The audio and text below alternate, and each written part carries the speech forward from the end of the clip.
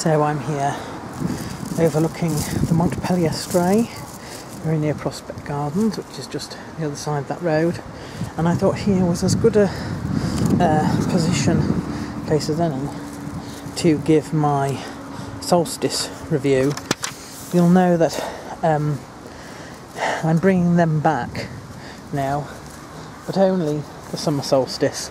And I'll have to go quiet if this road, uh, the path becomes used, because we are pretty um, public here. It's going to be quite a short one because I don't feel I need to do a review of the last six months, including important events or resolutions, because most of those uh, are sort of in the resolution for the five year plan, which will be up at the start of next month. Neither do I need to do a review of the five year plan continuation areas like springboard and health because of the same. I think a lot of my blogs recently, particularly the last one, has also, uh, in conjunction with the Over a Coffee, sorry, the Over a Cuppa broadcasts, particularly the last Not Over a Cuppa broadcast, has basically given you a budget review for the last six months. So all those things are done. Uh, so I come to the statement on the progress of the Pulver House of Birds Aviary.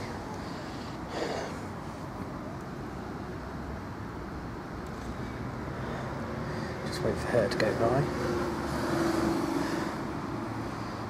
Do you know it's not been such a good start to the year?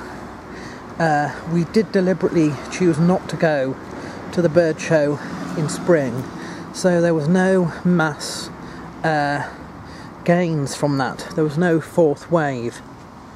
Um, the other thing that's turned out pretty badly is the uh, breeding season is not going well. We're halfway through, and to this date, whilst we've had, I think, four uh, live births that have resulted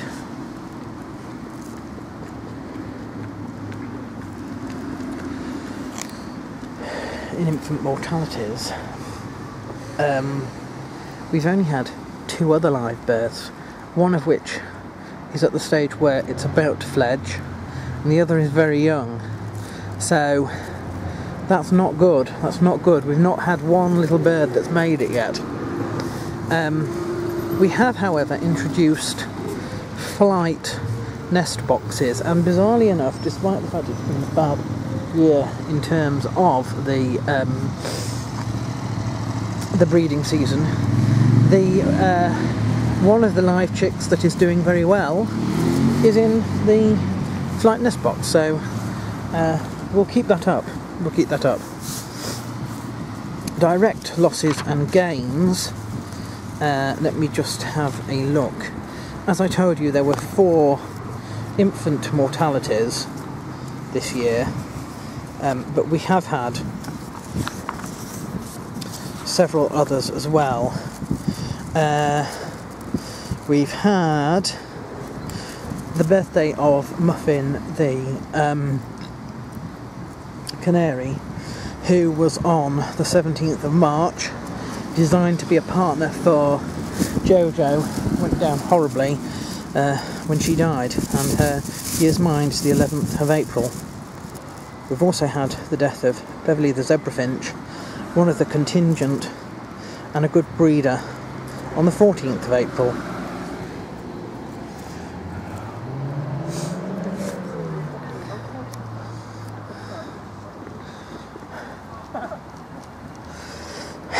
And finally, we also had the death of Susie the owlfinch uh, in April, and the death um, of uh, Sergio the owlfinch about a month later in May. So altogether, that's quite a big loss. That's one, two, three, uh, four, four losses. Uh, plus the babies is eight losses, and we've had one gain, which was cancelled out, and two gains, which I've not yet uh, made made it. so here are the calendar editions for the first half of 2015.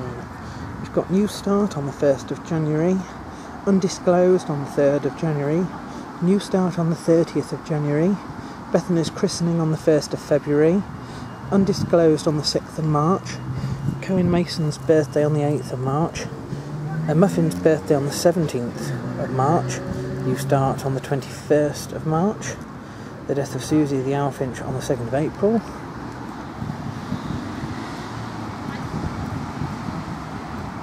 um, uh, Muffin's Year's Mind on the 11th of April, uh,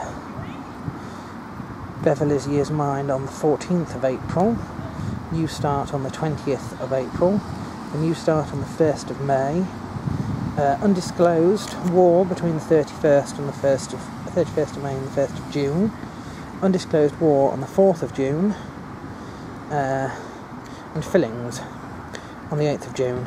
Unfortunately, uh, I need to do more research to find out exactly when Sergio uh, the Owlfinch died, but I believe it's sometime in May.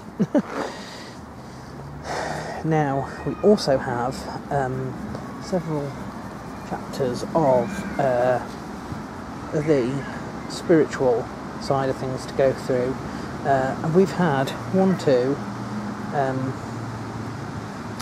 I think we've had five, five spiritual chapters, uh, two of which have been uh, spiritual warfare, which had the second slaying, which was on the 7th of June, and the casting out, which was on the 4th of April. Uh, we had uh, the revelation of, um, where are we, Cosmos Miracola on the 29th of April, and then we've had two miracles uh, Pigeon Miracola on the 8th of June, and Cyanide Miracola on the 13th of May. And that's it.